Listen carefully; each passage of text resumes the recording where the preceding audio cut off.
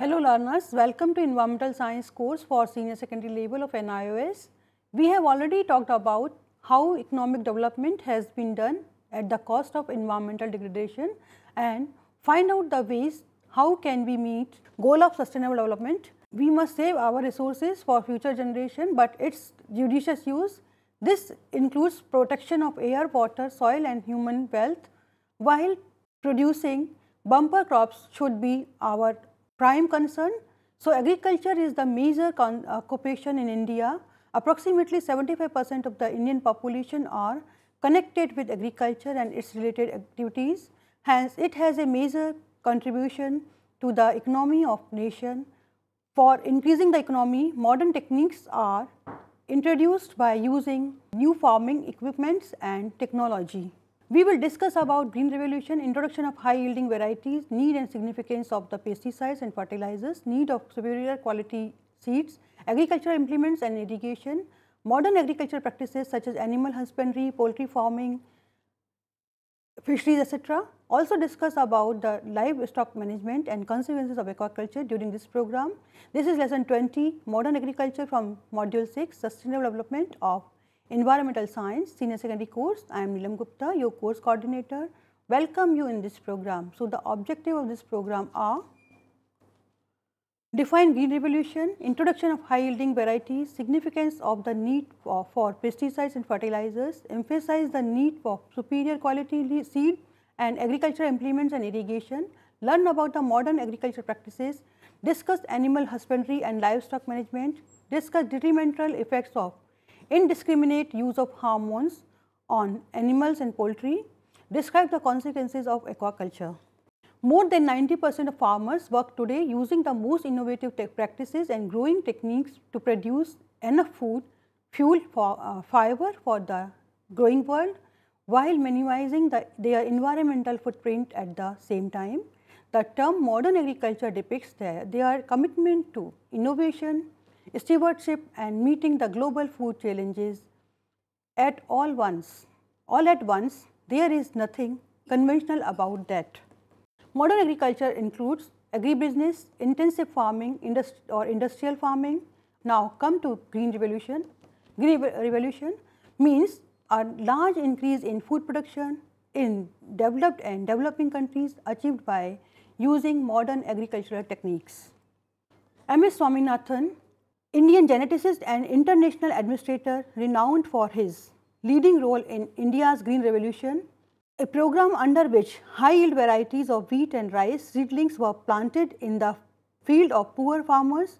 Swaminathan is known as Indian father of green revolution for his leadership and success in introducing and further developing high yielding varieties of wheat, and Indi wheat in India.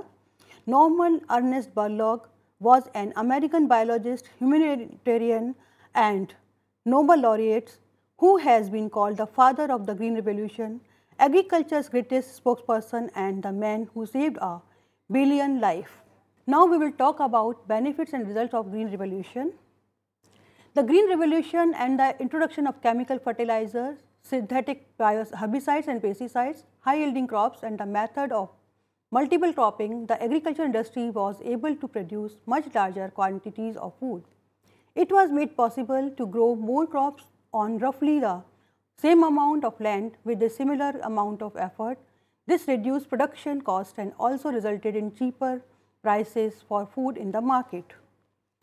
The ability to grow more food on the same amount of land, was also beneficial to the environment because it meant that less forest or natural land needed to be converted to farmland to produce more food. The natural land is that is currently not needed for agricultural land is safe for the time being and can be utilized by animals and plants for their natural habitat. Now come to the result of the green revolution.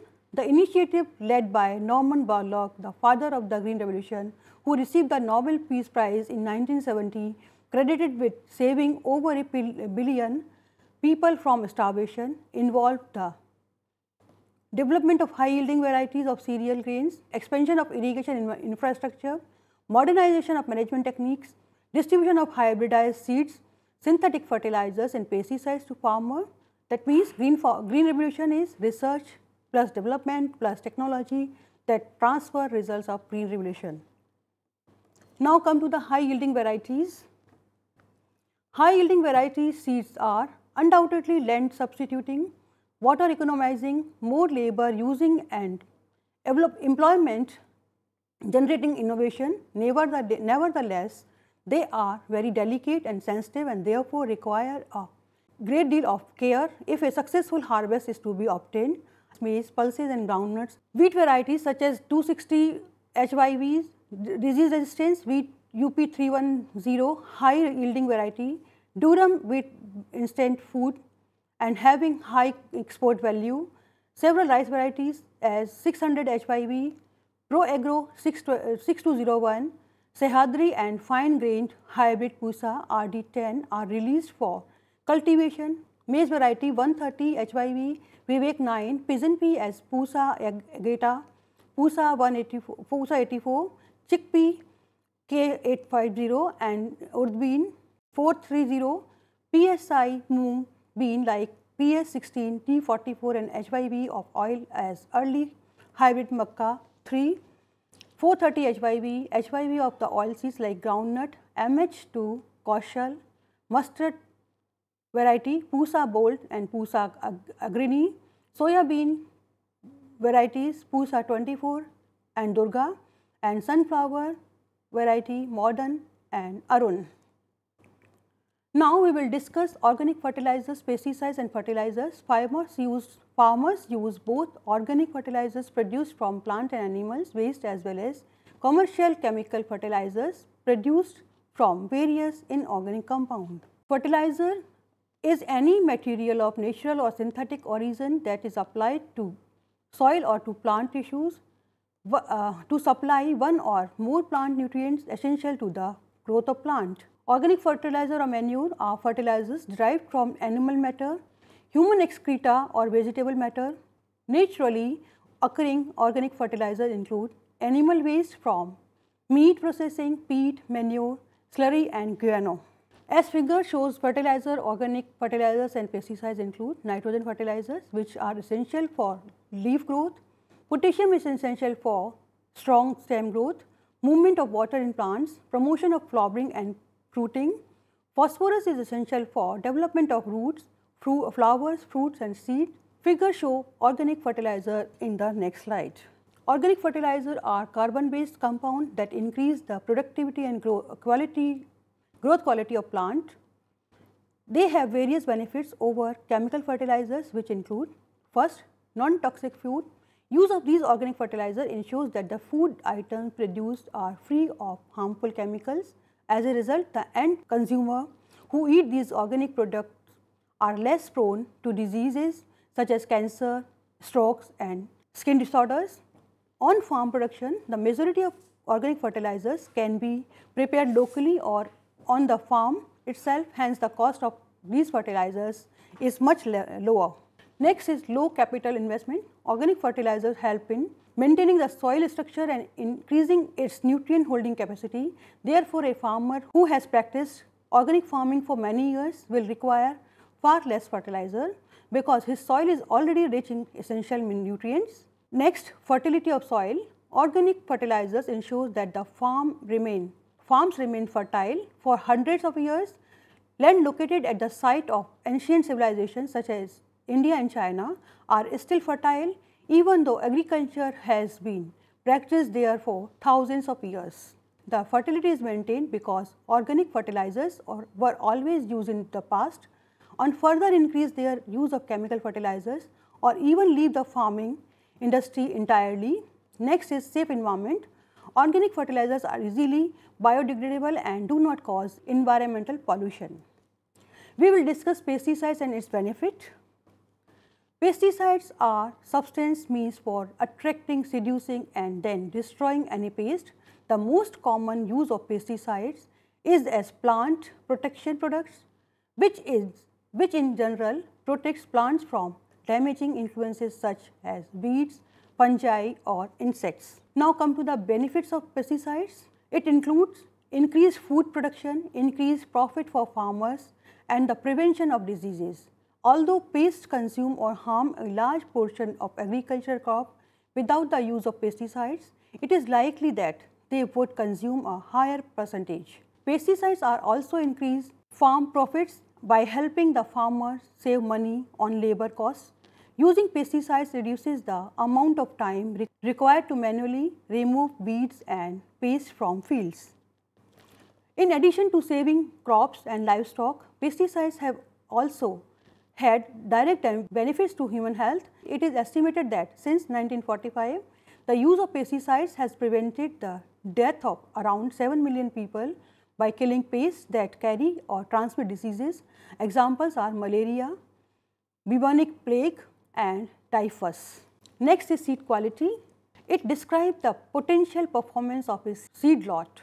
Trueness to variety, the presence of inert matter, seed of other crops or beet seed, germination percentage, vigor, appearance and freedom from disease are important aspect of seed quality. High quality seed should meet minimum standards for each of these characteristics. The standards of official certification agencies are usually accepted as the minimum requirement high quality seed.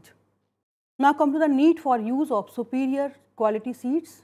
As shown in the flow chart, superior quality of seeds have some of the characteristics that is high yielding varieties, high, higher nutritional quality in pulses, baking quality in wheat, preserving quality in fruits and vegetables, oil quality and quantity in oil producing plants, varieties for disease and pest resistance, varieties for resistance against heat, cold and waterlogging.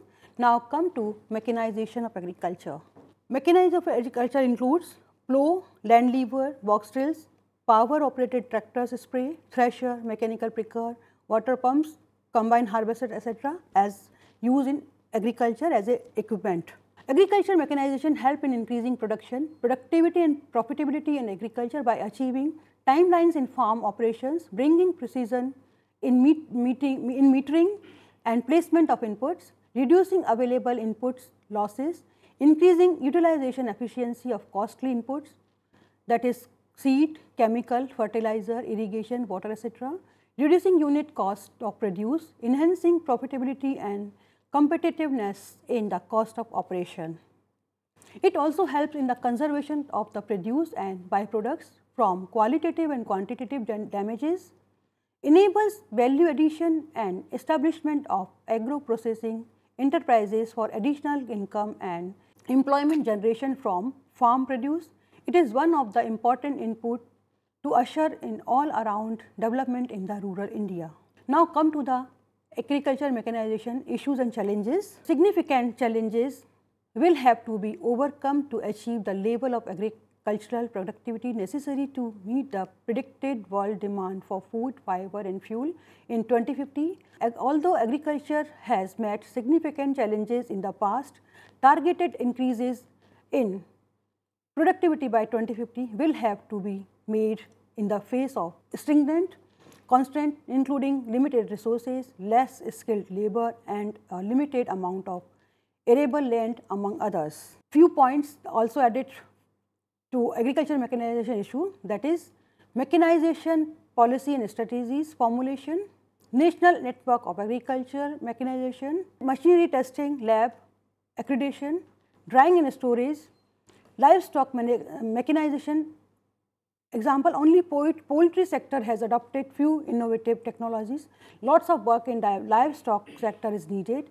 Mechanized sugarcane planting and harvesting, mechanization of pulse crops.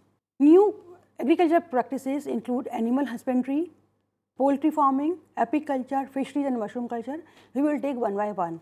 First we will take poultry farming is the raising of domesticated birds such as chickens, duck, turkey and geese for the purpose of farming meat or eggs for food, poultry are farmed in greater number with chickens being the most numerous, more than 50 billion chickens are raised annually as a source of food, both their meat and their eggs.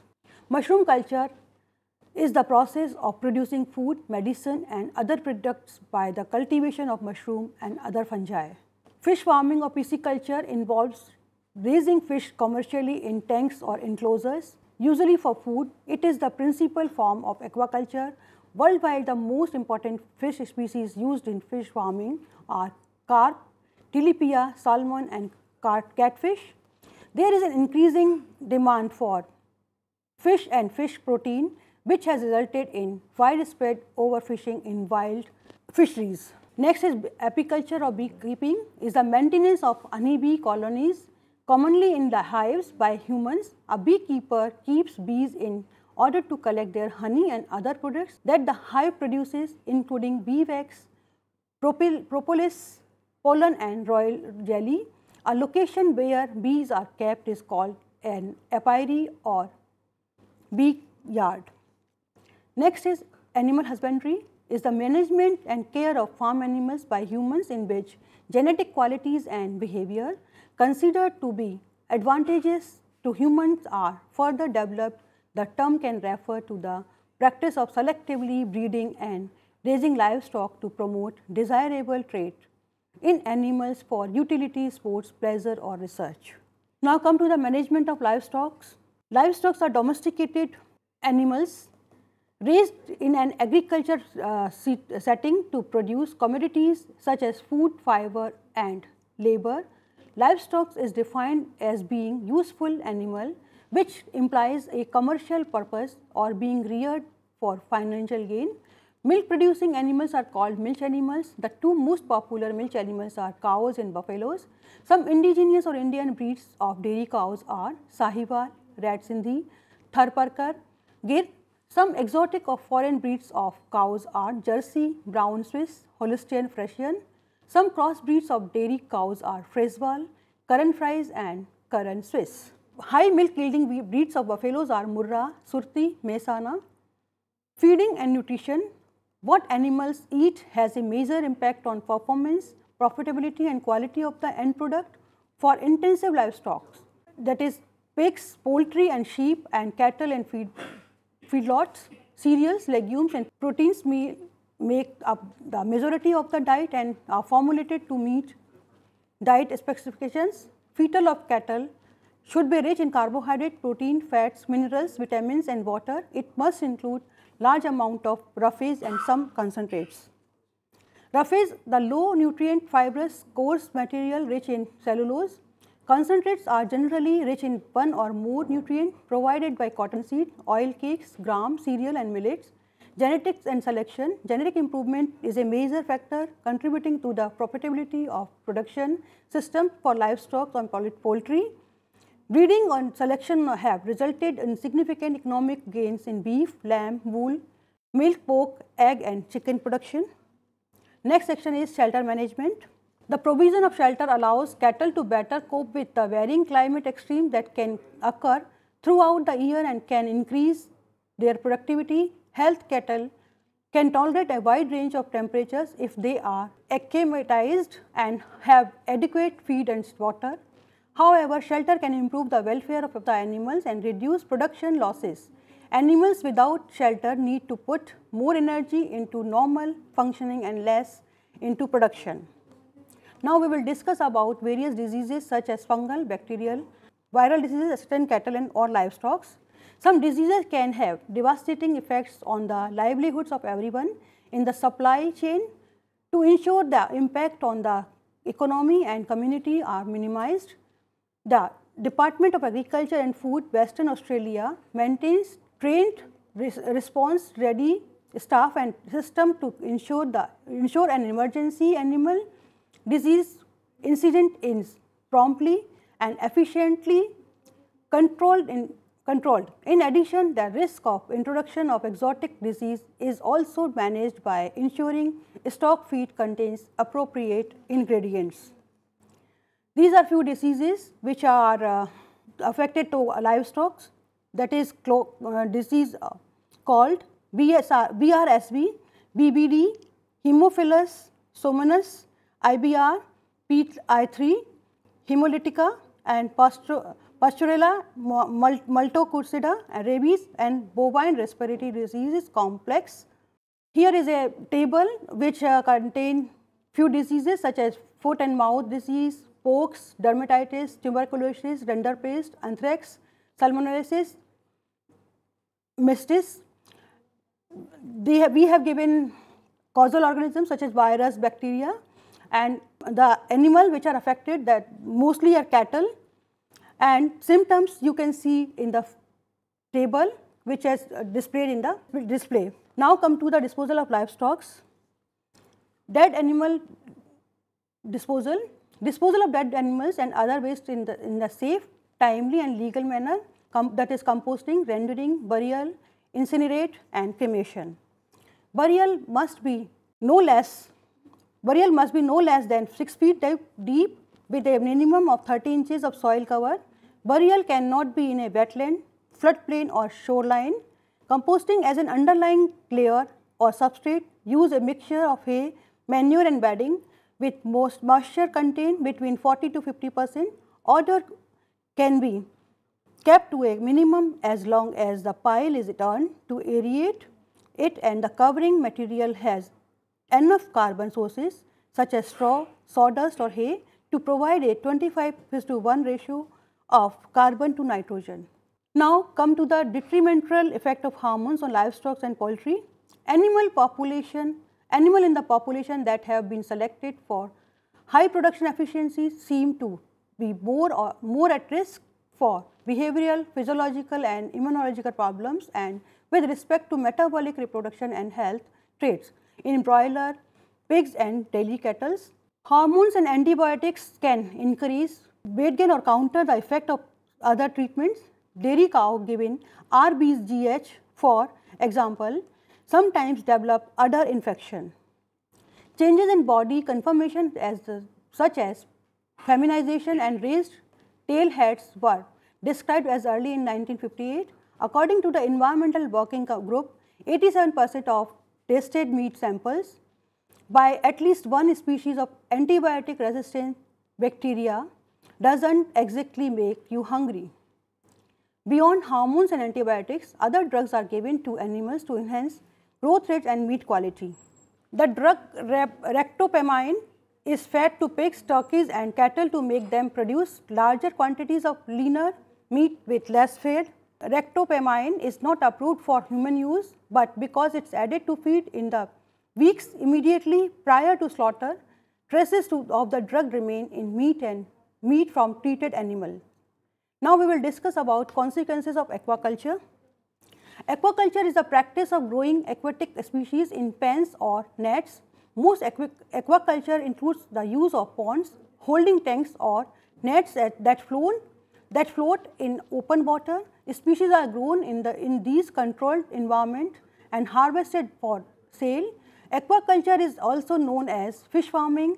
This technique is actually used to grow over 220 spe different species of freshwater and marine organisms, while around half of aquaculture facilities are dedicated to growing fish, other grows and harvest mollusks such as clams and mussels, crustaceans such as crabs and shrimp, and aquatic plants, aquaculture was established mainly to help reduce the pressure on natural fish population. Now, per, uh, come to the purpose of aquaculture, utilization of natural resources to increase production for per capita consumption and income, ornamental purpose, sports and game purpose, upliftment of socio-economic status of people, create employment opportunities, utilization by, of byproducts like fish, liver, oil, fish protein, concentrate etc. Now come to the environmental effect, effects of fish farming. One large problem with aquaculture is that organisms are grown in large number of large numbers in small areas. This concentrated setting can cause some major problems that influence the environment. This setting result in a large amount of uneaten food and bodily waste being released into the environment. This unusual increase in nutrients often result in the certain in the repeat in the this unnatural increase in nutrient often result in the creation of algal bloom which can negatively impact native species by reducing the amount of oxygen available in the water. The concentrated setting of aquaculture also increases the risk of diseases. Organisms raised in aquaculture setting are given antibiotics to combat free combat these diseases. As a result of aquaculture, there is increased risk of spreading diseases to natural population and increased risk of pollution from medication used to combat diseases. Learners, this is all about uh, lesson 20 modern agriculture. Before we wrap up, we would like to recap the main points that is what you have learnt. Green revolution is substantial increase in yield of crop using high yielding varieties of seeds and providing enough fertilizers and pesticides and good irrigation. Professor Norman Borlaug helped India in bringing in green re revolution. Dr. M. S. Swaminathan, internationally renowned Indian agricultural scientist and the father of green revolution in India, made India a food surplus country. Indiscriminate and wasteful use of fertilizer causes environmental pollution and costs us money. Modern agriculture is an industry, hence it is highly mechanized. Various types of machines are used for managing crops in large essays of land. Poultry farming, apiculture, mushroom culture and fisheries are newer agricultural practices which brings money and employment to the farmer. Animal husbandry is a branch of agriculture which deals with proper care and breeding of domesticated animal. Feed of cattle should be rich in carbohydrate, protein, fat, minerals, vitamins and roughage. The low nutrients, fibrous coarse material rich in cellulose. It is very important to provide proper shelter to the domestic animals to keep them in a healthy condition so that the milk yield is high. Animals are also attacked by disease causing organisms like bacteria, viruses and fungi. Common diseases of cattle are foot and mouth disease, anthrax, rinderpest and cowpox and tuberculosis. Proper disposal of death in dead livestock is a serious matter. Indiscriminate use of hormone for increasing milk production cause lot of discomfort and pain to the animals. Aquaculture is a sustainable way of harvesting aquatic edible crustaceans. It helps to save the oceans or marine ecosystem from getting damaged. So, dear learners, this is all about lesson 20 modern agriculture. We will come again to meet you with a new program of environmental science. Thank you.